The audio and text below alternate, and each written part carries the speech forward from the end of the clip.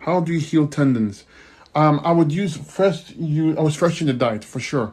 So when you have uh, joint pains, tendon tendon pains, tendon um, issues, cartilage issues, you have to understand the cause. Yes, you could have had an injury, no doubt, but but why would a tendon or cartilage be weak? It's because it's it doesn't have proper use of calcium, so it's, it's not strong. The integrity is not strong, and this occurs because you have weak parathyroid gland. That's a gland that makes use of calcium. When when you have weaker parathyroid gland, the the body um, the tissue is not strong anymore, and you are more likely to have tears, uh, damage uh, bone problems. So fix your parathyroid gland for any uh, tendon problem, any um, joint problem, or any cartilage problem. Always fix your parathyroid gland. You also want to be on the, on the fruit cleanse. Why? Because the fastest way you're going to regenerate. Fruit fruit only cleanse is the fastest way.